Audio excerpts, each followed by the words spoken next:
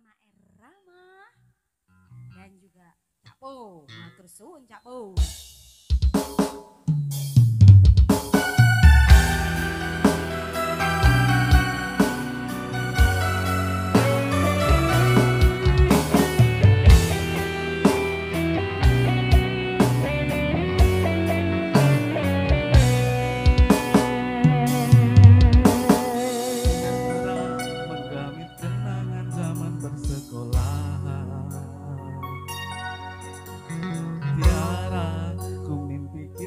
bersanding atas kayangan. Seakan bisa ku sentuh peristiwa semalam Di malam pesta. Dan kau bisikan kata azimah